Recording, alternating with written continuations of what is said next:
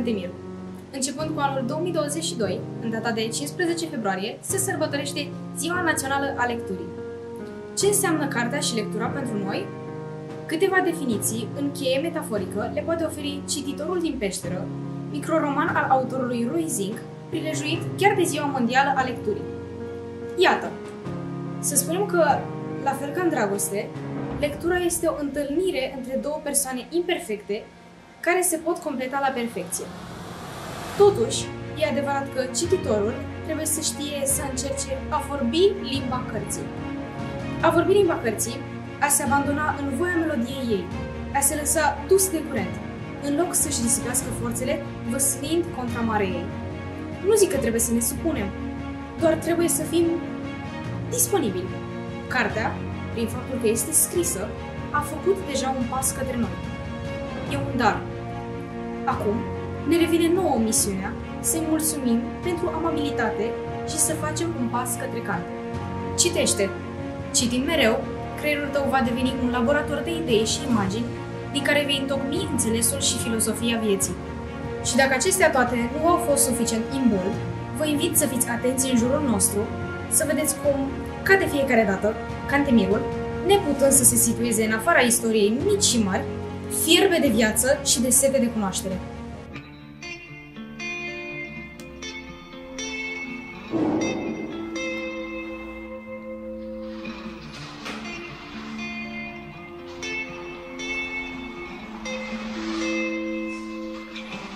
In the midnight haze, we are sitting in the sun. Until I hit your face, and I know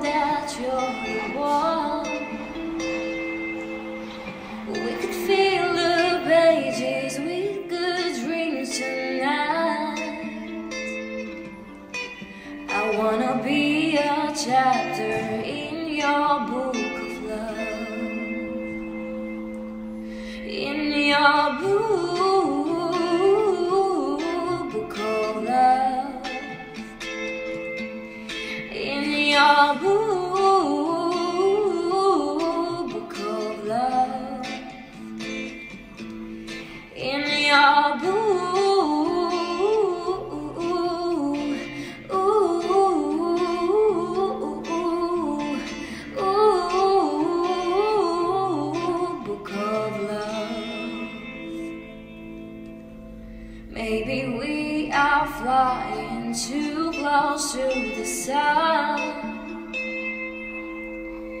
And we may get burned, but it'll be a crime to run. Cause you're perfect as the deep blue sky above. You can be a chapter in my book of love, love, love. Babu.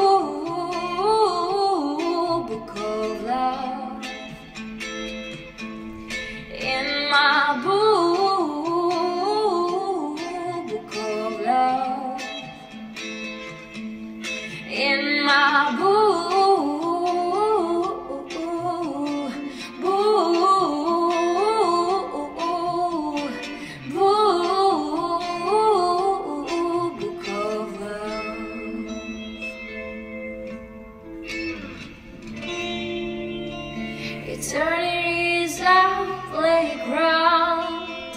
Tell me if you wanna get high. Tell me if you wanna be down. In my book,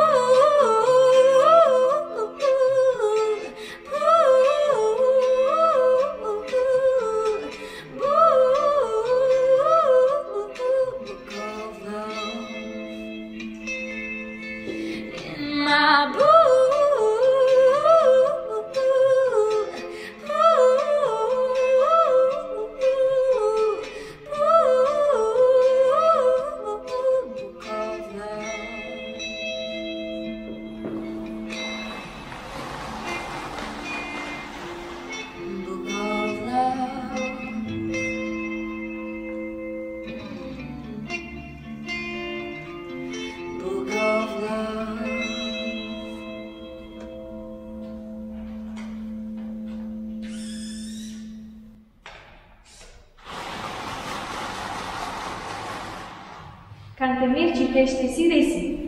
Să demonstrăm că acesta nu este doar un slogan. Alăturați-vă firesc demersului, purtând deschisă în fața ochilor și a minții voastre o carte, nu un ecran. Haideți să înălțăm împreună insule de lectură. Thank you.